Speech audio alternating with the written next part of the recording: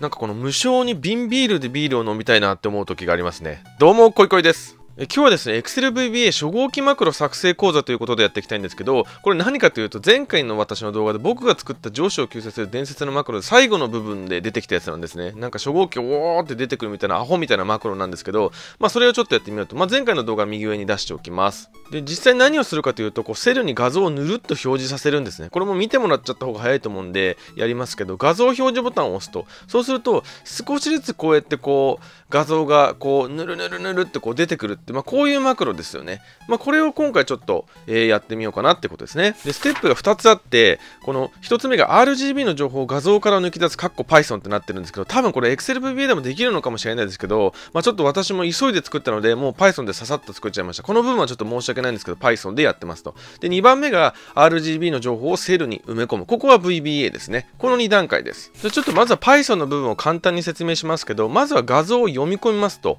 さっきの猫の画像を読み込み、画像のサイズを、まあ、180 180、に今回はもう無理やり変えましたと。それで、その RGB の情報、まあ、光の三原色って聞いたことあると思うんですけど、この画像って3次元になってて、まあ、色の情報が、入ってるんですね。で、それ、数値として抜き取りたいんですよね。0とか10とか20とか。で、それをまずは抜き取ります。そうすると、これ実行すると、180の180の3次元になってて、この000ってなってますけど、まあ、これが黒なんですけど、まあ、ちょっとこれ縁が黒なんで、まあ、0が多いんですけど、この 000RGB の部分を、こう、数値としてまずは、えー、取り込んであげたいと。それをまずはしてあげるってことですね。で、その次にやってることは、この000ってのを0カンマ0カンマ0みたいな感じで、もう文字列で一回こう、えー、情報を取得したいっていうことで、まあ、これでここでやってるんですね。で、その情報を、まあ、180×180 のこの正方形の形で、まずはイメージ Excel っていう形で、この保存してあげるっていうことをやってるんですね。まあ、ちょっとここ難しいかもしれないですけど、ちょっと結果を見てみますと。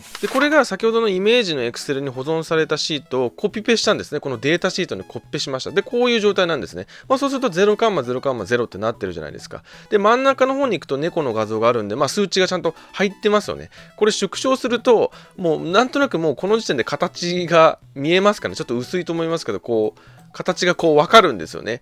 で、まあ、こういう状態で、まあ、保存されましたっていうことですね。あとは、このデータシートが、まあ、そのままもう画像の形になってるんで、まあ、イメージっていうシートのセルに、この000とかをこう順番にこう、えー、RGB の色を指定してあげればさっきみたいにムワーってぬるってこう出てくるっていうことなんですね。まあそこを VBA で書いてますと。で、こちらがあの ExcelVBA のコードですね。ちょっとこの細かい、えー、説明は避けますけど、まあちょっと配列とか出てきて難しめにはなってますかね。で、肝の部分だけちょっと説明しようと思うんですけど、今回の肝っていうのは、もう先ほど見ていただいたように、この画像がこう、ぬるっとこのバラバラバラっと出てきたじゃないですか。あれがしたいわけなんですね。で、あれどうやってるかっていうと、重複のない乱数を発生させてるんですね。それで、ちょっとずつ出していくってことをやってるんですね。まあ、そこだけちょっと説明します。でちょっと簡単に説明しますけど、この、まあ、先ほどのデータってシートが 5×5 で小さかった場合で考えますと。で、これを、えー、っと、これ 5×5 で25種類ありますよね。25種類をランダムでこのセルにこの色を塗りつけてあげると。000この部分を塗りつける。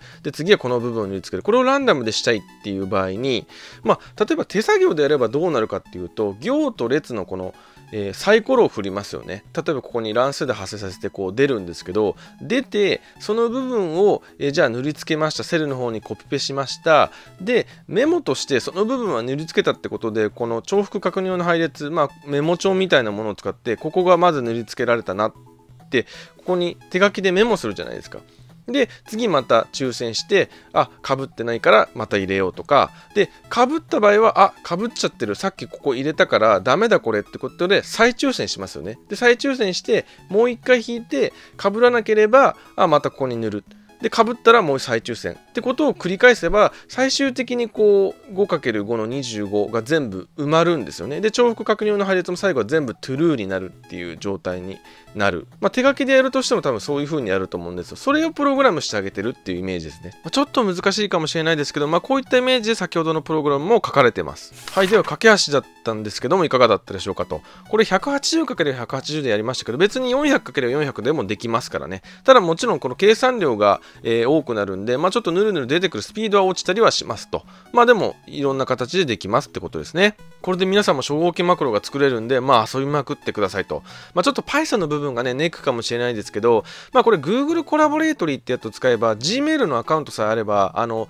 作れるんで、まあちょっとその参考動画は私昔やってるんで、ちょっと右上に出しておきますけど、まあここで今のコードを、あの、書けば、多分、あの、クラウド上でできるんで、まあそれをやるってのもありかなと思います。はい、では本日はこの辺にしたいと思います。ご視聴ありがとうございました。この動画はオンラインプログラミングスクールテックアカデミーの提供でお送りしました。